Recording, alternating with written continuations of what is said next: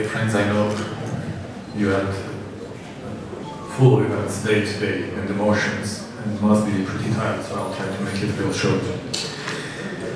Congressman Pallone, Congressman Grimm, members of Congress, your eminences, reverend fathers, dear friends, compatriots, Mr. Avdisian, allow me to start by expressing our appreciation to the co-chairs, Congressman Pallone and Grimm, for their leadership and for co-hosting this congressional commemoration of the Armenian genocide with the Embassy of Armenia, the Ankara office, and the Armenian American organizations.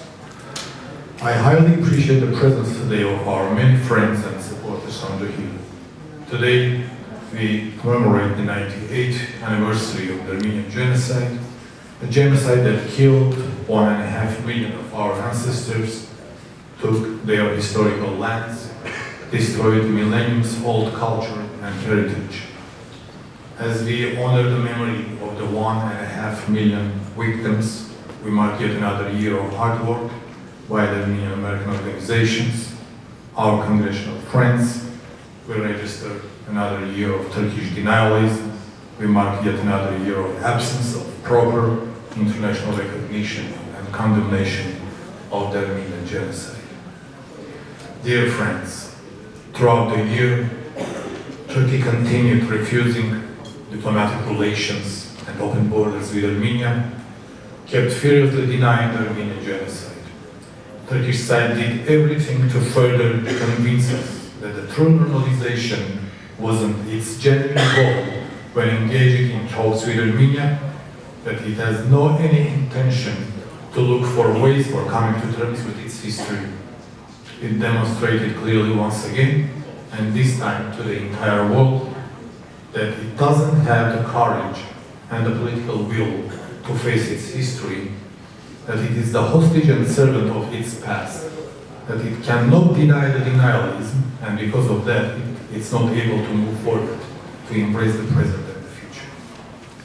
Aggressive statements coming from Turkey and actions of Turkish organizations here in the United States soil and elsewhere witness to that end. They are working hand in hand with Azeri groups to promote anti-Armenian resolutions at state legislatures, thus trying to counterweight Armenian genocide recognition efforts and to discredit Nagorno-Karabakh's claim for freedom. Dear friends, we cannot share the wait and see strategy suggested by some that is meant to leave it to Turkey alone to address these issues on its own, no matter how much time it takes. Turkish side did and does everything to leave no doubts that the best and shortest way to break this vicious circle, the wall of silence inside Turkish society and denialism, and to move forward has been and remains the international recognition of the Armenian genocide. It's not a secret that even the mere discussions here at the Foreign Relations Committee resonates widely inside the Turkish society. Dear friends, we surely should continue our joint efforts. The Armenian government has a clear and consistent view on this. As President Sargsyan it, nothing can question the reality of the patricide and the genocide perpetrated against the Armenian nation.